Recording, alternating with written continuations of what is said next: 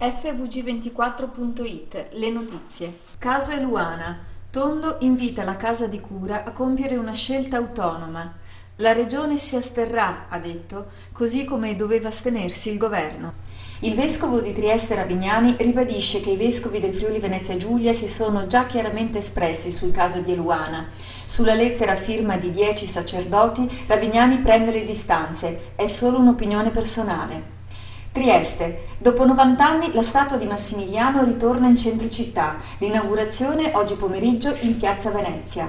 Calcio, Coppa UEFA, sorteggio per i sedicesimi di finale. L'Udinese affronterà la squadra polacca dell'Ec Poznan. I 90 anni della Triestina Calcio. Ieri sera grande festa al Pala Trieste.